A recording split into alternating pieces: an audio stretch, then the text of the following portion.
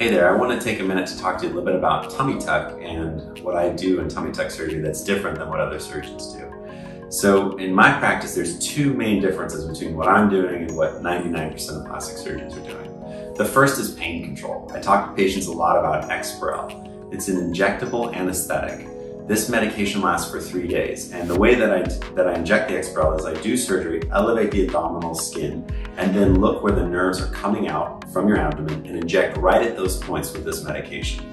Medication lasts for three days, and you can see on the, my Instagram page and a few other places, multiple patients who say that with this treatment, they wind up with a pain level zero to one out of 10 on post-op day one through seven. This is remarkable. It's very different than what you've heard before from tummy tucks. A lot of patients will tell you that if they had a tummy tuck before without Exparel, it was worse than their C-section, it was incredibly painful, they were laid up for days. This new medication revolutionizes the treatment of pain with tummy tuck, and my patients are taking between three and five Percocet pills in the entire postoperative period. We also use a hybridized CBD-based product to help with pain and to keep it low, but a multimodal approach to pain is key, and that's very important because this is cosmetic surgery. And let's face it, it really shouldn't hurt.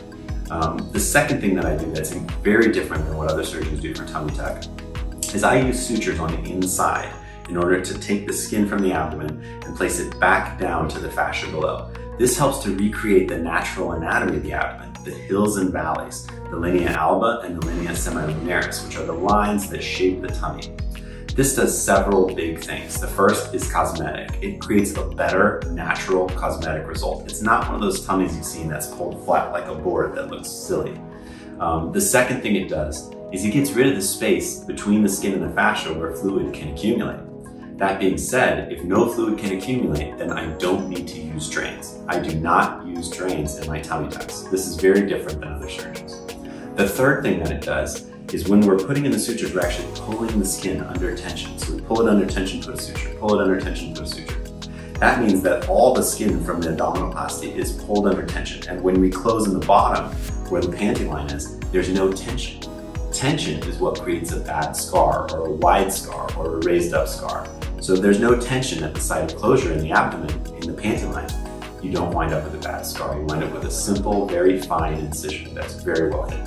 I can show you several patients that are darker skin, African American, Hispanic, where you would think they would have a bad scar. And because of this technique, there's no tension, there's no scar.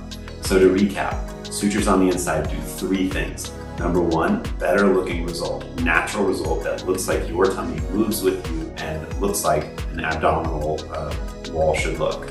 Second thing, gets rid of the space, so no fluid and no drains. Third thing, makes the scar better at the closure site.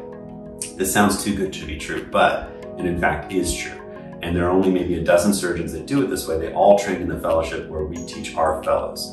Um, if you want to see more information, I've written three articles on the subject, which you can find available on Google, Google Scholar, and you can see 700, 900 patients where we're showing better results, less risk of seroma or hematoma, so less risk of complications, and overall a great outcome for these patients because they don't need drains. The risk of seroma, which is fluid collection in patients with or without a drain, is like 2%. So why treat 98% of patients that don't have that problem with a drain? In my mind, it doesn't make sense.